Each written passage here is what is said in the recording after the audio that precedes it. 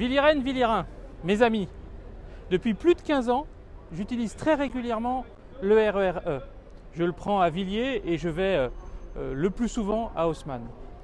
Au début, le RERE e était très régulier. C'était très confortable, on savait qu'il partait euh, à 8h37 et il arrivait une vingtaine de minutes plus tard à Paris. Aujourd'hui, cette régularité, elle est remise en cause. En 15 ans, la qualité de la régularité du RERE e s'est considérablement dégradée. Nous en avons assez des galères du RERE. E.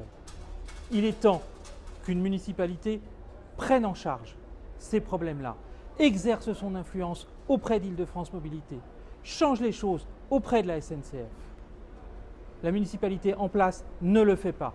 Elle ne le fait pas depuis 25 ans et euh, aujourd'hui, avec les galères des Villiérains, ne les prend pas en charge.